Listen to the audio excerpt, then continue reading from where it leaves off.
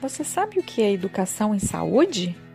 Meu projeto tem como um dos objetivos usar ferramentas educacionais para o esclarecimento dos pacientes sobre a sua doença e o seu tratamento. Escolhi trabalhar com a hanseníase, pois essa patologia está muito associada a preconceitos históricos e é considerada uma doença negligenciada. Hoje, o termo lepra é proibido e a incidência da doença no Brasil é a segunda maior do mundo.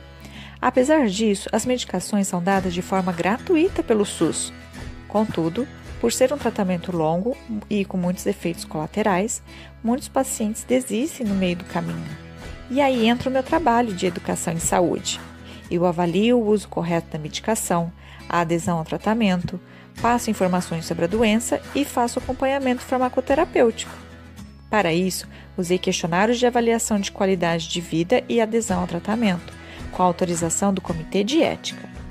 Os pacientes que autorizam, eu envio mensagens de WhatsApp e são monitorados semanalmente.